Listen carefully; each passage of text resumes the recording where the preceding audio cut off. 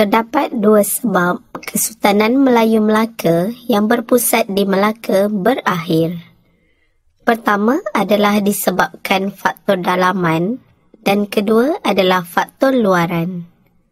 Faktor dalaman adalah masalah kepimpinan yang dihadapi.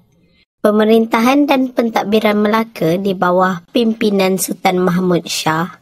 Selain itu, masalah perpaduan juga menjadi punca rakyat tidak bersatu padu, wujud persaingan kuasa antara pembesar dan sikap askar upahan dari luar yang tidak taat setia. Faktor luaran juga merupakan antara penyumbang kepada faktor pengakhiran Kesultanan Melayu Melaka.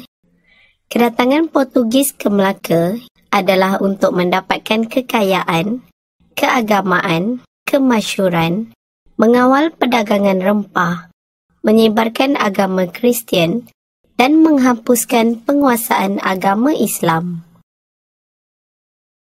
Bagi mempertahankan kedaulatan, Melaka melakukan pelbagai ikhtiar antaranya menerusi usaha diplomasi, strategi, pertahanan dan pertempuran.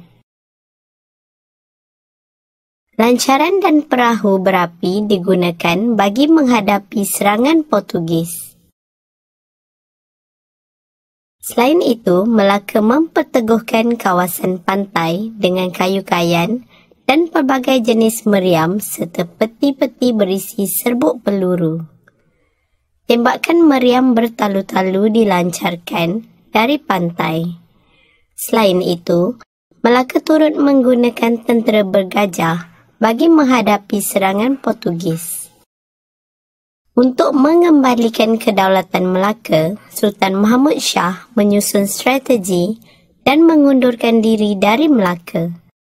Baginda telah bergerak ke beberapa wilayah naungan serta jajahannya dan kemudian bersemayam di Bentan.